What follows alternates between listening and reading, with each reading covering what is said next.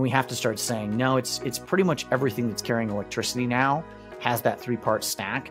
So your dependency is actually very widespread. It's actually very deep because I don't want to live without my phone, but I don't want to live without my coffee maker.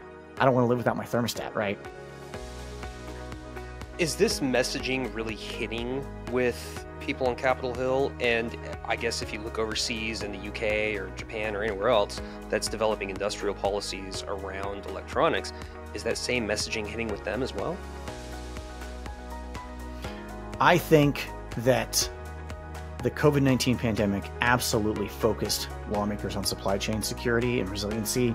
Uh, certainly, like nothing we've seen in our lifetimes, right? I don't think the CHIPS Act gets done without the fact that you're waiting on trucks at the port of Long Beach waiting on semiconductors. I, I, really don't. I don't think so. I think you have to have a sense of urgency.